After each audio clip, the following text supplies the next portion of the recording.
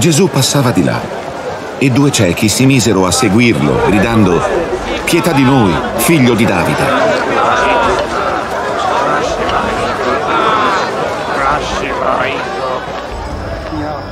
Quando arrivò a casa, i ciechi gli andarono vicino e Gesù domandò, Credete che io possa fare quello che mi chiedete? Essi risposero, Sì, Signore.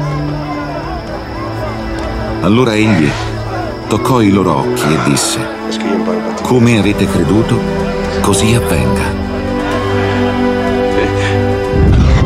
E i loro occhi cominciarono a vedere.